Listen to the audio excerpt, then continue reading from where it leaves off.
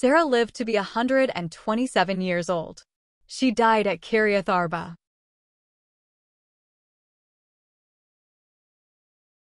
That is, Hebron, in the land of Canaan, and Abraham went to mourn for Sarah and to weep over her.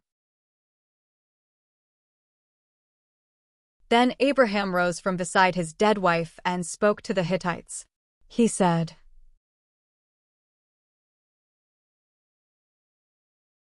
I am a foreigner and stranger among you. Sell me some property for a burial site here so I can bury my dead. The Hittites replied to Abraham, Sir, listen to us. You are a mighty prince among us. Bury your dead in the choicest of our tombs. None of us will refuse you his tomb for burying your dead.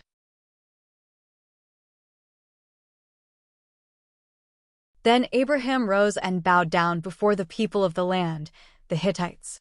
He said to them, If you are willing to let me bury my dead, then listen to me and intercede with Ephron son of Zohar on my behalf. So he will sell me the cave of Machpelah, which belongs to him and is at the end of his field.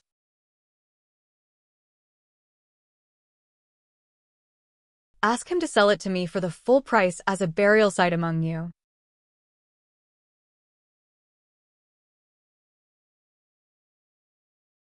Ephron the Hittite was sitting among his people, and he replied to Abraham in the hearing of all the Hittites. who had come to the gate of his city. No, my lord, he said. Listen to me. I give you the field, and I give you the cave that is in it. I give it to you in the presence of my people. Bury your dead.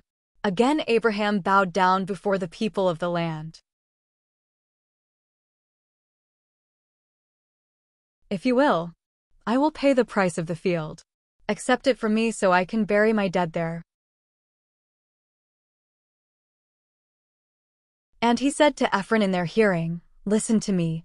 Ephron answered Abraham.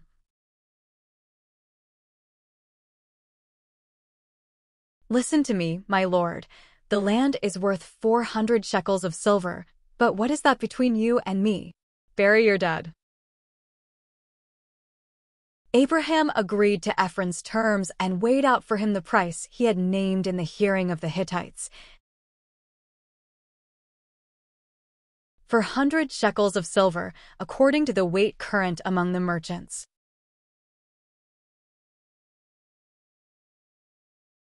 So Ephron's field in Machpelah near Mamre, both the field and the cave in it, and all the trees within the borders of the field was deeded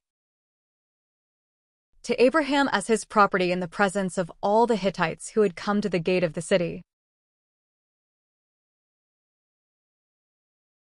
Afterward Abraham buried his wife Sarah in the cave in the field of Machpelah near Mamre, which is at Hebron, in the land of Canaan.